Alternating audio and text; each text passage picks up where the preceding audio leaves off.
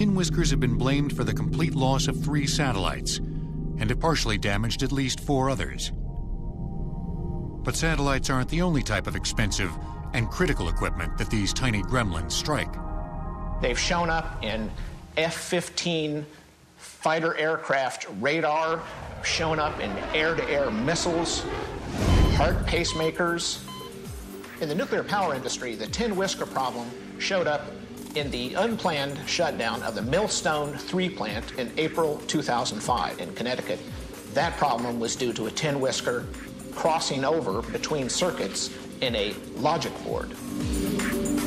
Inside the University of Maryland's engineering department, long-term experiments are conducted over several years by subjecting closely spaced plates of tin and other metals to various temperature, humidity, and other conditions. These experiments, researchers can determine if certain conditions inhibit or promote whisker growth.